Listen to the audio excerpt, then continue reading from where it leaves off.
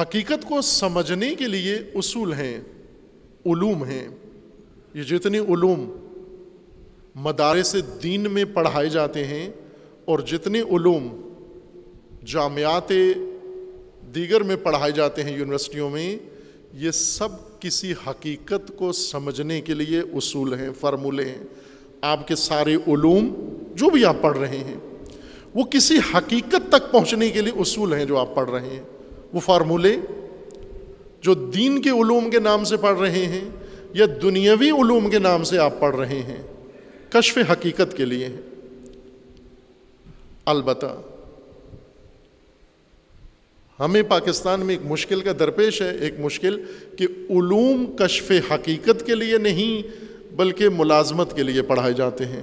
ہماری سب سے بڑی حقیقت ملازمت ہے۔ وہ جعلی ڈگری سے مل جائے یا اصلی ڈگری سے مل جائے، اس کو ذرا تھوڑی دیر کے لیے نظر انداز کریں۔ لیکن علوم کا فلسفہ یہ ہے، علوم اس لیے وجود میں آئے ہیں، تمام علوم جتنے بھی آپ پڑھتے ہیں۔ ابھی تک شاید گنے نہیں ہوں گے کسی نے کتنے علوم دنیا میں اس وقت موجود ہیں، چونکہ علوم سے علوم نکلے ہیں۔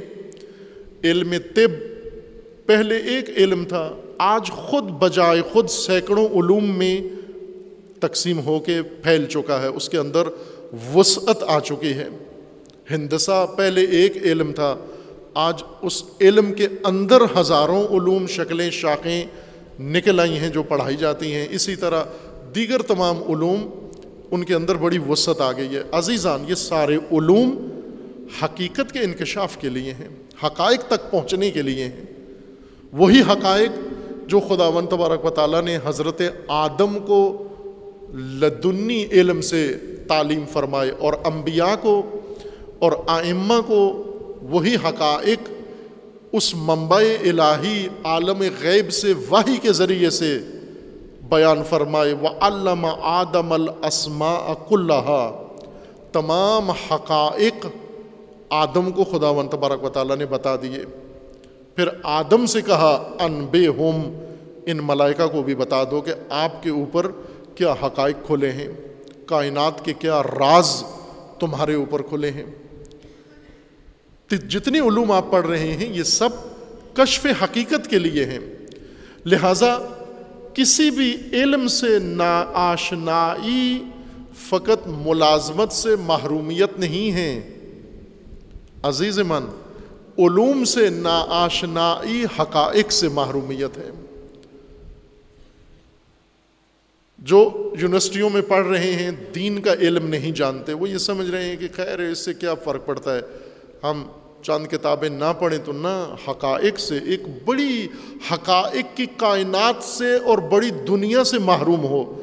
اگر یہ علوم نہیں جانتے اور جو مدارس میں ہیں وہ اگر ان علوم سے نا آشنا ہیں جو یونیورسٹیوں میں پڑھائے جاتے ہیں، تو یہ بھی حقائق کی ایک پوری کائنات سے نا آشنا ہے۔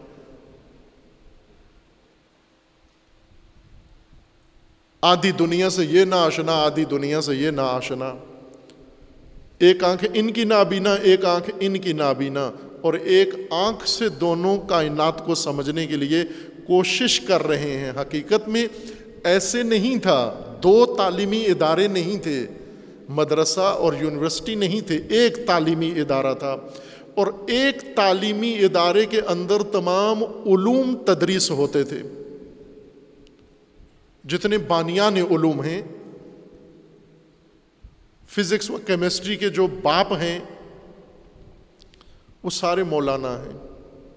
مولانا بو علی سینا کتنے علوم کا فادر ہے، فلسفے کا باپ وہ ہے۔ طب کا باپ وہ ہے، فزکس کا باپ وہ ہے، فلکیات کا باپ وہ ہے، منطق کا باپ وہ ہے۔ اور علم فکر علم کلام کا بھی باپ ہے۔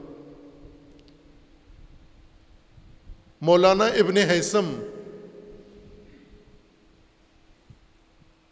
آج بھی چاند کے ایک بڑے حصے کا نام، چاند کے ایک آدھے حصے کا نام ابن حیثم کے نام سے موسوم کیا گیا ہے۔ مولانا خواجہ نصیر الدین توسی مولانا زکریہ راضی یہ سب ایک تعلیمی ادارے میں پڑھے۔ سائنسدان بھی وہی بنے، فقہا بھی وہی بنے، مفسر بھی وہی بنے، دین شناس بھی وہی بنے اور کائنات شناس بھی وہی بنے۔ اس لیے کہ دین اسی کو سمجھ میں آتا ہے جو کائنات کو سمجھ جائے اور کائنات اس کو سمجھ میں آتی ہے جو دین کو سمجھ جائے۔ ایک آنکھ سے دونوں سمجھ نہیں آتے۔ احول کو دونوں سمجھ نہیں آتے۔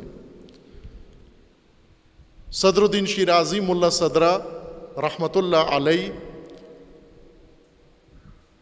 ان کا یہ فرمانا ہے کہ بعض احول ہیں، بینگے ہیں، بینگے، یہ ان کی تعبیر ہے۔ میں جسارت نہیں کر رہا۔ کہا، بعض بہنگے ہیں، حتیٰ دین میں بہنگے ہیں۔ بہنگے جس کی آنکھیں پھری ہوئی ہوں، احول ہوں، گومی ہوئی ہوں، زاویہ اس کو ایک کے دو نظر آتے ہوں۔ کہ ان کو ایک کے دو نظر آتے ہیں۔ اس لیے توحید بیان کرتے ہیں، الٹی۔ قیامت بیان کرتے ہیں الٹی ہر چیز کا نقشہ بدل دیتے ہیں۔ جس طرح اگر کسی احول کو بہنگے کو کہو، یہ کتنے آدمی ہیں، کتنی انگلیاں، وہ کہتے ہیں دو۔ ایک انگلی کو کہتے ہیں دو دو کو کہتے ہیں چار۔ خرابی یہاں سے ہوئی ہے۔ عزیزان، یہ علوم، سارے علوم بلا استثناء کشف حقیقت کے لیے ہیں۔ علم یعنی فارمولہ راز، حقیقت کا راز، اسی کو علم کہتے ہیں۔ حقائق، کائنات حقائق ہی کا دوسرا نام ہے۔ اور دین بھی حقائق ہی کا دوسرا نام ہے۔ تخیلات کا نام نہیں ہے۔ نہ کائنات تخیلات کا نام ہے اور نہ دین تخیلات کا نام ہے۔ توہمات کا نام نہیں ہے۔ کائنات توہمات نہیں، حقائق کا نام ہے۔ اور دین بھی توہمات نہیں، بلکہ حقائق کا نام ہے۔